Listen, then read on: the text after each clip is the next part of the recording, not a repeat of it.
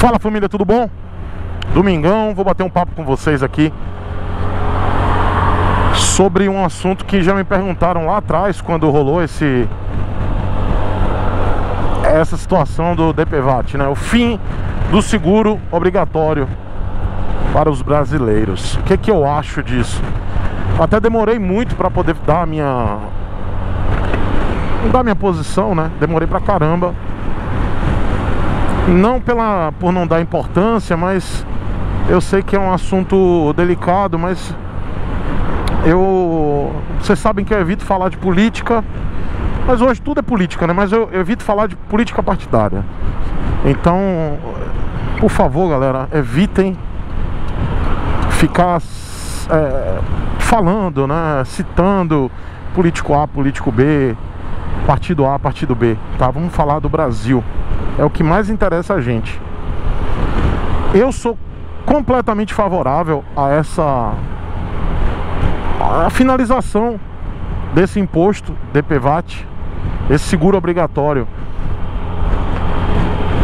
Eu acho que na realidade nós temos que ter a opção de, de escolher pagar ou não, e não isso ser imposto da forma que foi, que era feita nesses anos todos e você não vê nenhum benefício, nenhum benefício tá? Porque parte desse dinheiro ele é teoricamente, né, direcionado para hospitais públicos para que atendam essas pessoas que sofreram acidente. Mas a gente vê que isso não acontece, tá? Claro que as pessoas que sofrem acidente recebem esse seguro, mas aí eu acho que cada um tem a opção de fazer o seu próprio seguro, tá? Eu sei que isso é cruel mesmo, algumas pessoas pensam, ah, mas é aquele cara que não tem condição então não roda de moto. Ah, mas o cara que trabalha, então ele paga, ele paga o seguro. Existem várias modalidades de seguro, assim como o cara que trabalha, ele tem que pagar o seguro da moto dele. Eu sou da economia liberal, tá? Eu sou a favor da economia liberal. Do livre mercado, da autorregulação.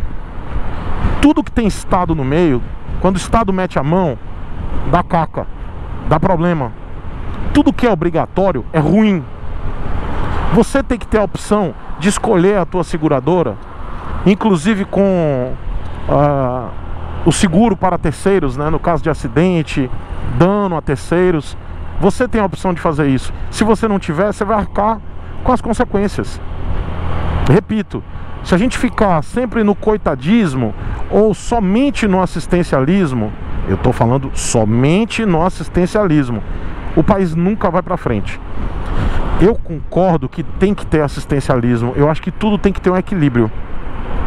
Nosso país, ele tem a política de assistencialismo uma das mais avançadas do mundo. Eu, eu cito o SUS mesmo. O SUS é incrível. Mas por que que ele não funciona? Em, te, em teoria, os, nós deveríamos ter uma, uma, um sistema de saúde público, né? Perfeito.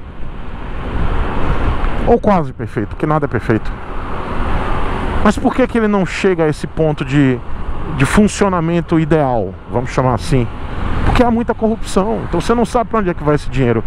Da mesma forma ocorria com o dinheiro do DPVAT, esse dinheiro do seguro obrigatório. Ele era desviado. E assim, galera, sinceramente, eu acredito que ele vai voltar no futuro, tá?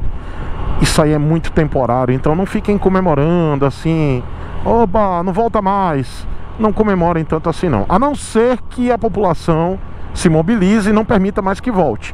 Mas na realidade, a retirada dessa desse seguro obrigatório é uma rixa pessoal do presidente com o Bivar, que é um dos proprietários da seguradora, da líder, que é a seguradora que opera o DPVAT. E é simplesmente por birra, por briga, tá? Não, não tem um, um, um propósito maior, tá?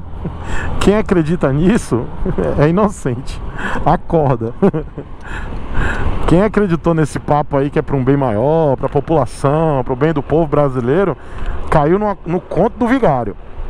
Porque isso não existe, tá? É uma rixa pessoal, o cara Enfim, vocês conhecem, vocês sabem, eu não vou ficar rendendo muito não, porque eu não quero render. Outra coisa, quero deixar claro para vocês, não vou responder a nenhum comentário aqui, tá? Eu pensei em não. Quando fala de política, eu pensei em tirar, desabilitar os comentários. Mas eu acho muito injusto isso. Se eu lancei a pedra, eu quero que a pedra ressoe, né? Na água. E aí vocês é que vão render aí. Eu não vou responder a nada. Se vocês quiserem comentar, comentem. Mas eu não vou render esse assunto além disso aqui que eu tô falando. Não vou responder a nenhum comentário. Ah, eu acho que isso vai ser bom, vai cair bastante aí o imposto em cima do da gente que roda de moto, então são 200, era 259 reais, uma coisa do tipo, que a gente já vai ter economia em 2020. Isso é muito bom, porque para quem trabalha, isso é economia para quem trabalha. Eu tô falando para quem trabalha, tá? Isso aí já é uma grana para poder pagar o seguro da moto. O seguro verdadeiro, aquele seguro que vai lhe, lhe assegurar, né? Ele, preservar teu veículo e lhe dar garantia de que se for roubado, você vai receber o dinheiro de volta, tá? E não esse troço aí obrigatório que você paga e você não vê nada, tá? E que rola muita corrupção, muito desvio de dinheiro. Eu sou completamente a favor da livre escolha, do livre mercado. Todo mundo tem que ser livre para escolher o que quer fazer, inclusive o seguro, ter ou não ter. Se você vai ter, beleza. Se você não vai ter, você vai ter que arcar com as consequências. Eu estou sendo repetitivo para que muitas pessoas que não entendem e que acham que eu sou contra o assistencialismo, não é isso, tá? Eu sou a favor do equilíbrio. Eu acho que todo país decente tem que ter sim assistencialismo, tem que ter um serviço público decente, tem que ter um atendimento público de emergência, de, de hospital, mas não dessa forma como a gente estava passando aí por décadas pagando esse imposto, que a gente não vê melhoria nenhuma no sistema público de saúde, muito menos nas vias. Eu acho que e, e outra coisa, o IPVA também deveria ser abolido. Não serve para nada. Ou que o IPVA seja de um valor muito simbólico e único para todos, independente se você tem uma Ferrari ou se você tem um Fusca. Essa é a minha ideia, esse é o meu conceito. Se você não concorda, deixa aqui sua, seu comentário. Se você também não concorda com esse vídeo, quer deixar o dislike, deixa aí, não tem problema. Se você concorda comigo, deixa o joinha, deixa teu comentário ou não comenta, tá? Mas eu precisava expressar minha opinião e dizer o que, que eu penso em relação a menos um imposto. Acredito que é benéfico. Acredito não, tenho certeza, né? Muita gente vai aproveitar esse dinheiro aí para fazer outra coisa. Agora aconselho a todos que paguem o seguro da sua moto. Tá? Aproveita aí que você vai ter economia aí de 250, 260 paus e paga aí parte do seguro da tua moto, independente se você tem uma moto pequena ou grande, tá?